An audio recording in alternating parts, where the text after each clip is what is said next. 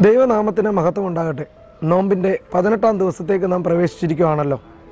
രണ്ടായിരത്തി ഇരുപത് എന്ന അനിശ്ചിതത്വം നമ്മെ വിട്ട് രണ്ടായിരത്തി ഇരുപത്തൊന്നിന്റെ പ്രതീക്ഷയുടെ നാളുകളിൽ നാം കടന്നപ്പോൾ നമ്മെ കാത്തു പരിപാലിച്ച ദൈവത്തിന് സ്തുതി കരയേറ്റാം. ഇപ്രകാരം ഈ നോമ്പിന്റെ ഭാഗമായി ഇന്ന് നമുക്ക് ചിന്തിക്കുവാൻ ഇയോബിന്റെ പുസ്തകം ആറാം അധ്യായം ഒന്ന് മുതൽ പത്ത് വരെയുള്ള വേദവാക്യങ്ങളിൽ നിന്നാണ് എടുത്തിരിക്കുന്നത്. ഇയോബിനെ പറ്റി നാം എല്ലാവരും പഠിച്ചതാണ് കേട്ടതാണ് അറിഞ്ഞതാണ്. ആ മനുഷ്യൻ നേരുള്ളവനും നീതിയുള്ളവനും ന്യായമുള്ളവനും ദോഷം വിട്ടകന്ന് ജീവിച്ചവനും ആയിരുന്നു. ഇപ്രകാരം ജീവിച്ചിരുന്ന ഒരു മനുഷ്യൻ തന്റെ ജീവിതത്തിലുണ്ടായ സഹനത്തെ അറിയിക്കുന്ന ഒരു അധ്യായം കൂടിയാണ് ഈ അധ്യായം. തന്റെ പ്രാർത്ഥന എപ്രകാരമായിരിക്കണം? കർത്താവിന്റെ സന്നദ്ധിയിൽ താണിരുന്ന് പ്രാർത്ഥിക്കണം. ഇതാണ് ഈ പ്രാർത്ഥനയാണ് ഈ ആറാം അധ്യായം നമ്മളെ പഠിപ്പിക്കുന്നത്.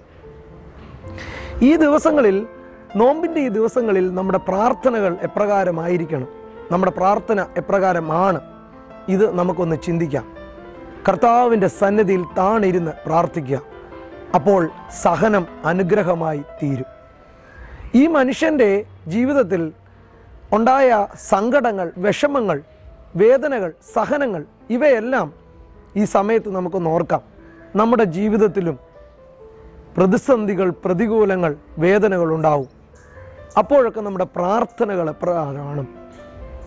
എന്റെ വ്യസനം വലിയതായി തീർന്നു എന്ന് അത് കർത്താവിന്റെ സന്നിധിയിലേക്ക് അർപ്പിക്കുന്ന ഒരു പ്രാർത്ഥനയായിട്ട് നമുക്ക് സാധിക്കാറുണ്ടോ? രണ്ടാമതായിട്ട് ദൈവവചനം മനനം ചെയ്യുക പഠിക്കുക. ഈ മനുഷ്യൻ തന്റെ ജീവിതത്തിലുണ്ടായ പ്രതിസന്ധിയുടെ സമയത്തും ദൈവവചനത്തിൽ അധിഷ്ഠിതമായി അതിൽ പഠിച്ച് അതിൽ ഉറച്ചു തന്നെ നിൽക്കുന്നതായിട്ട് നമുക്ക് കാണുവാനായിട്ട് സാധിക്കും. ഇപ്രകാരം നമ്മുടെ ജീവിതത്തിൽ എത്ര പ്രതിസന്ധി വന്നാലും നമ്മുടെ ജീവിതത്തിൽ ദൈവവചനത്തിൽ ഉറച്ചു നിൽക്കുവാനായിട്ട് നമുക്ക് സാധിക്കണം. ഈ മനുഷ്യന്റെ ജീവിതം ഇത് നമ്മോട് ഈ ലോകത്തോട് വിളിച്ചു പറയുന്നതും അതുതന്നെയാണ് മനനം ചെയ്ത ഈ മനുഷ്യൻ. തന്റെ ജീവിതത്തിലുണ്ടായ എല്ലാ പ്രതിസന്ധിയെയും ദൈവത്തിങ്കൽ ദൈവവചനത്തിൽ അത് സംസാരിച്ച് ദൈവവചനത്തിൽ അധിഷ്ഠിതമായി ഉറച്ച് ജീവിക്കുവാനായിട്ട് ചിന്തിച്ചു പ്രവർത്തിച്ചു. ഇപ്രകാരം ഈ മനുഷ്യന്റെ ജീവിതത്തിലും ദൈവവചനത്തിന് ഒരു വലിയ സ്ഥാനമുണ്ട് എന്ന് നമുക്ക് കാണുവാനായിട്ട് സാധിക്കും. നമ്മുടെ ജീവിതത്തിൽ സന്തോഷങ്ങൾ മാത്രമല്ല പ്രതികൂലങ്ങൾ പ്രതിസന്ധികൾ ഉണ്ടാവും. ദൈവവചനത്തിന്റെ സ്ഥാനം എപ്രകാരമാണെന്ന് നമുക്കൊന്ന് ചിന്തിക്കാം. ഈ വലിയ നോമ്പ് നമുക്ക് നൽകുന്ന സന്ദേശം എന്താണ്? അല്ലെങ്കിൽ നമ്മുടെ അനുഭവം എന്താണെന്ന് നമുക്കൊന്ന് തിരിഞ്ഞു നോക്കാം. ഇന്ന് ക്രൈസ്തവ സമൂഹം സുഖിച്ചും സന്തോഷിച്ചും കൊണ്ട് ആഘോഷിക്കുന്ന ഒരു നോമ്പ് കാലങ്ങളായി മാറിക്കൊണ്ടിരിക്കുന്നു. മറ്റുള്ളവനെ ശ്രദ്ധിക്കാതെ പോകുന്ന നോമ്പ് ദൈവത്തെ നിഷേധിക്കുന്നതാണ്. നമുക്ക് ചിന്തിക്കാം നമ്മുടെ നോമ്പ് എപ്രകാരമാണ്? ആ ചിന്തകളിലൂടെ നമുക്കൊന്ന് കടന്നു പോകാം മുന്നൂറ്റി പതിനഞ്ച് ദിവസവും നാം സന്തോഷത്തിലും സുഖിച്ചും കഴിയുമ്പോൾ അൻപത് ദിവസം മാത്രം മതിയോ ഈ നോമ്പ്? ഈ നോമ്പിന്റെ അനുഭവം. മറിച്ച് മുന്നൂറ്റി അറുപത്തി അഞ്ച് ദിവസവും നമുക്കൊരു നോമ്പിന്റെ അനുഭവം ഉണ്ടാവാൻ നോവുള്ള അൻപോടുകൂടി ജീവിക്കാൻ നമുക്ക് സാധിക്കണം. എന്നെ അനുഗമിക്കുന്നവൻ തന്നെത്താൻ ക്രൂശ് എടുത്ത് എന്നെ അനുഗമിക്കട്ടെ എന്ന് നമ്മോട് കർത്താവ് പറഞ്ഞു.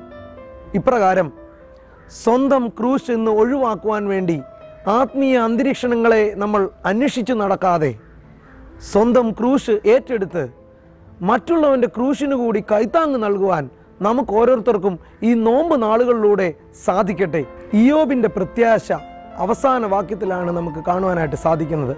എന്റെ ആശ്വാസം ദൈവത്തിൽ നിന്ന് ലഭിക്കും. ദൈവവചനത്തിൽ അധിഷ്ഠിതമായി ജീവിച്ച ഇയോബ് അപ്രകാരം പറയുമ്പോൾ നമ്മുടെ ആശ്വാസം ദൈവത്തിൽ നിന്ന് ലഭിക്കും എന്ന് നമുക്ക് പറയുവാനായിട്ട് സാധിക്കുമോ? ഇപ്രകാരം ഈ നോമ്പ് നാളുകളിലൂടെ നമുക്കൊന്ന് ഒരുങ്ങാം.